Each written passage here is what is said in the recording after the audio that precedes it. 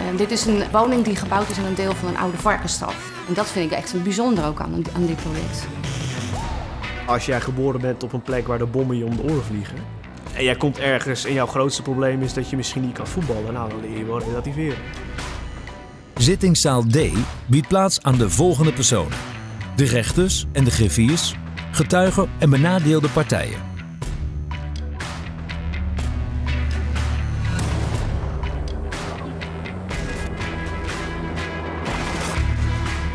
Innovatie begint met ambitie. Dat is wat Rotterdam wil zijn.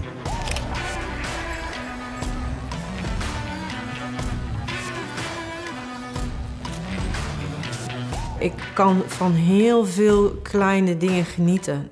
Veel meer dan vroeger. Vroeger liep ik er langs heen en zag ik het niet. Nou zie ik het niet, maar ervaar ik het veel meer. Ik heb een veel ruimere blik gekregen in dat opzicht. Hello, Candice. Hello, Mr. M. DNP claims to have made an extremely versatile ribbon.